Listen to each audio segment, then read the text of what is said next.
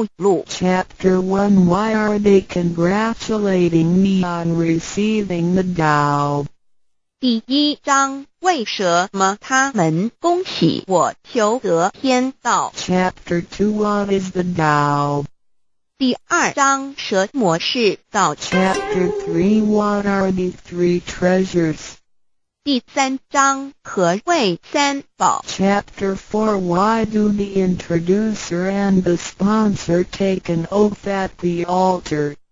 第四章，为什么银宝要立愿？ Chapter 5 Why I should take an oath before receiving the Tao.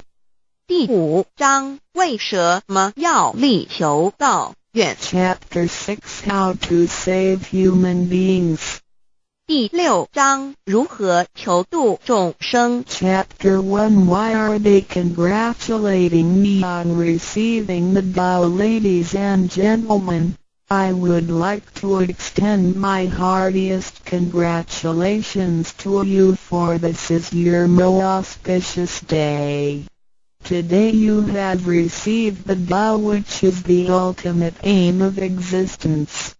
All of the Buddhas and saints attained the Tao in the past and, by transcending the limitations of birth and death, had become immortal. That which you have received today is the same Tao. Formerly, one who intended to receive the Tao had to abandon worldly possessions and enjoyments. If he was a king he had to abandon his kingdom. If he was a high official he had to resign his high position, leave his family and go to the remote mountains to seek a master who would transmit the Tao to him. After much suffering, he would gradually perfect his conduct, purified his mind and heart and perform many good deeds. Also For his sincerity, God would send Buddha to transmit the Tao to him. Under such conditions a person able to succeed was hard to find.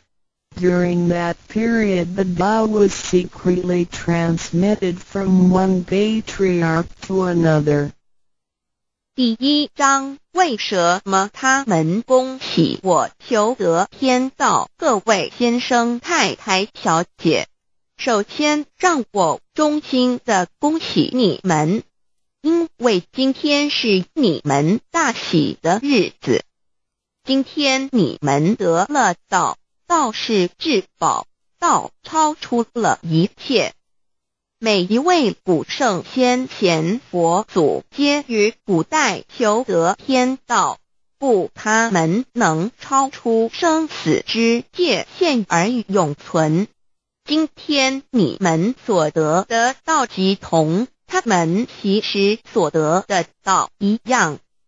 在古时，人要得到必须弃他在世界上所拥有之一切与享受。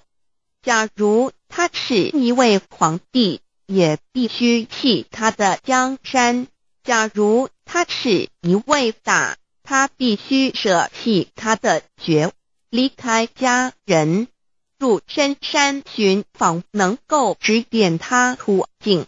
传授大道给他的名师，在他经历了千辛万苦之后，同时已将凡心修炼成佛心，并已达至圆满之行为，以及做了许多善事，在他至诚之下，终于感动上天之心，派遣佛来指点。